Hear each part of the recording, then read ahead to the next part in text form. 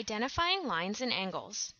Lines and angles are the building blocks of geometry. They are used to build other figures, for example, 2D and 3D shapes.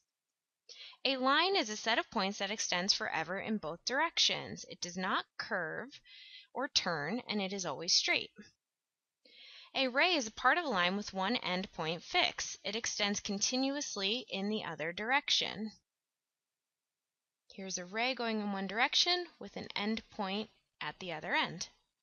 A line segment is a part of a line with both end points fixed. It has a fixed length. Here's a line with endpoints on either side, which makes it a line segment. Let's take a look at some more lines. Parallel lines are lines that are always the same distance from each other. They never meet or cross. An example of parallel lines is railroad tracks. You can see that these tracks are the same distance apart and will never intersect. Next is intersecting lines. Intersecting lines are lines that cross. Next we have perpendicular lines. Lines that cross at a certain angle, 90 degree angle, are called perpendicular lines. They form a square angle or an L-shaped angle. An example is intersecting streets. You can see these streets intersect and form an L-shaped or 90 degree angle. Let's learn about angles.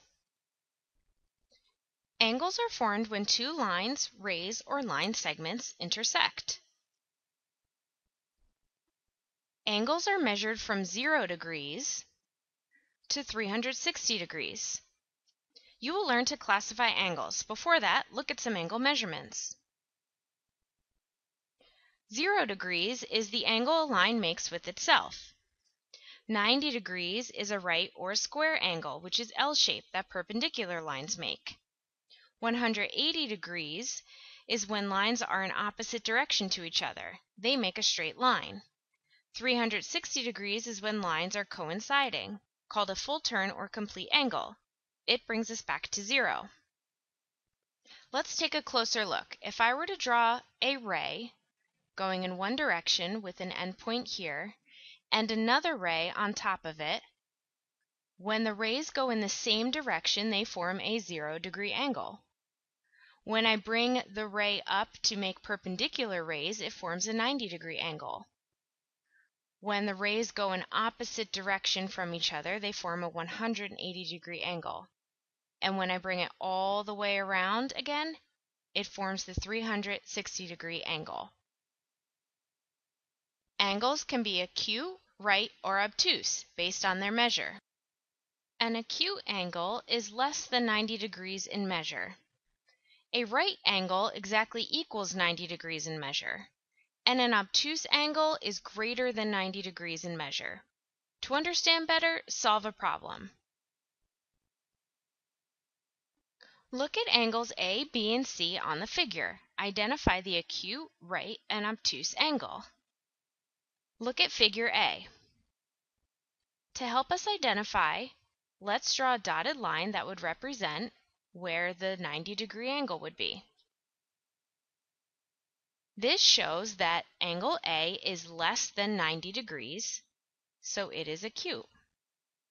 Look at angle B. Again, I'm going to draw the dotted line where the 90 degree angle would be. Angle B is greater than 90 degrees, so it is obtuse. For angle C, the dotted line goes right on top of the ray in this angle. So angle C is exactly equal to 90 degrees. Therefore, it is a right angle.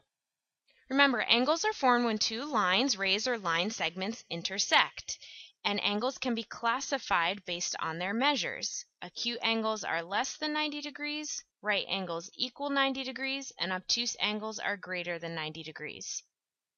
Thanks for watching.